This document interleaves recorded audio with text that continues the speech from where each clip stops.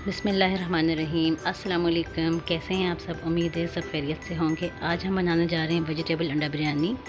तो चलें शुरू करते हैं। यहाँ मैंने लिया है 500 ग्राम दही। दही में मैं बिरयानी मसाला ऐड करूँगी। ये शान का बम्बई बिरयानी मसाला है। मैं थोड़ा सा डिफरेंट वे से बना रही हूँ। आपको अच्छा लगेगा। ये तरीका भी बहुत सिंपल और ईजी तरीका है।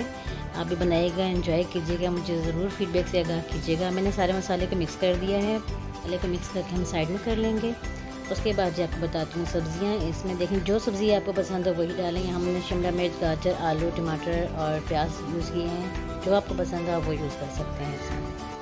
सब्ज़ी मैंने तैयार करके साइड में रख दी है काट के। और इसके बाद जो चावल मैंने लिए हैं, तकरीबन वन के जी इनको मैं भिगो के साइड में कर दूँगी। ऑयल लिया है मैंने यहाँ पे हाफ़ कप इसमें मैं डालूँगी तकरीबन वन टी स्पून सफ़ेद ज़ीरा डालूँगी। ज़ीरा शुरू में मैं इसलिए डालती हूँ इसकी खुशबू बहुत अच्छी आती है। यहाँ पे मैं कटे हुए प्याज शामिल कर दूँगी। इनको मैंने यहाँ पे करना है लाइट गोल्डन ब्राउन ज़्यादा ब्राउन नहीं करती मैं प्याज। बिरयानी के तो ख़ास तौर पर नहीं करती। यहाँ प्याज लाइट गोल्डन ब्राउन हो चुके हैं। कुछ कुछ वाइट भी हैं, लेकिन मुझे इसी तरह के अच्छे लगते हैं। जैसे आपको चाहिए इस तरह कर सकते हैं। इसमें मैंने तकरीबन एक चम्मच लहसुन अदरक डाला है। प्याज और लहसुन अच्छे से भुन चुका है। इसमें मैं चार बड़े अदरक के टमाटर कटे हुए शामिल करूँगी। उनको हल्का से मैंने भुना, उसके बाद मैंने आलू ऐड कर दिए आलू मैंने तीन बड़े अदद के लिए थे। आप जितने मर्ज़ी चाहे ले सकते हैं। इसके बाद मैंने वो सबसे पहले जो मसाला शामिल किया था दही में, वो मैंने इसमें ऐड कर दिया है। अब मैं इसको अच्छे से भूनूँगी। टमाटर ने इतना पानी छोड़ दिया था। उसके बाद मैंने इसमें एक्स्ट्रा एक गिलास पानी डाला है ताकि आलू गल जाए। अब इसमें उबाल आ गया था और आलू भी तकरीबन गलने के करीब ही हैं। अब इसमें मैं शामिल कर दूँगी गाजर।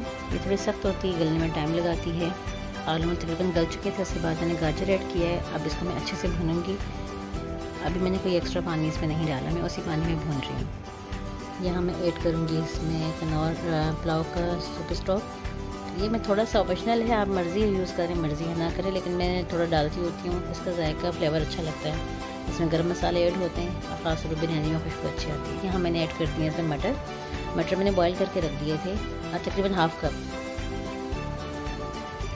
और साथ ही डाल दी है मैंने शिमला मिर्च। आप किसी भी अंदाज से काटें, किसी भी तरीके से काटें, जो चीज़, जो सब्ज़ी आपको पसंद है, आप वही इसमें डाल सकते हैं। मुझे शिमला मिर्च बहुत पसंद है। तो मैंने इसमें ऐड किया, शिमला मिर्च डालने पर जायका बहुत अच्छा आता है। अब मैंने सब्ज़ियों को सिर्फ़ भूना है, क्योंकि इन सब्ज़ियों को गलने में टाइम नहीं लगता।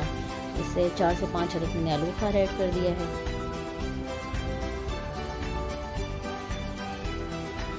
मसाला हमारा रेडी है। मैंने सब्ज़ियाँ डालने के सिर्फ़ दो मिनट इनको भूना है। तो तैयार हो गया है। सिंपली मैंने चावल बॉईल कर लिए थे बिरयानी के, एक कनी छोड़ के। तो अब मसालों के तेल लगा रही हूँ। मैंने हर चीज़ के इंग्रेडिएंट भी साथ में लिख लिए हैं ताकि आपको पढ़ने में भी आसानी हो, मैंने क्या चीज़ कितनी डाली है। बहुत ही सिंपल बिरयानी है, बहुत ही अच्छी बिरयानी है झटपट बनने वाली है। यहाँ पे तेल कंप्लीट हो गया है। तो अब मैं जर्दे का कलर डालूँगी यहाँ पे थोड़ा सा। बिरयानी में जर्दी कलर डाल दिया है। इसको मैं गार्निश करूँगी। धनिया, मिर्चें, टमाटर, पुदीना, इन सारी चीज़ों से मैं गार्निश करूँगी।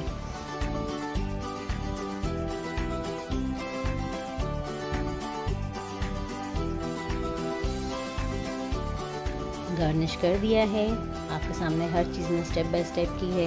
मैंने अंडे बॉईल कर दिए थे साइड में। तो आपको पसंद है तो ज़रूर डालें।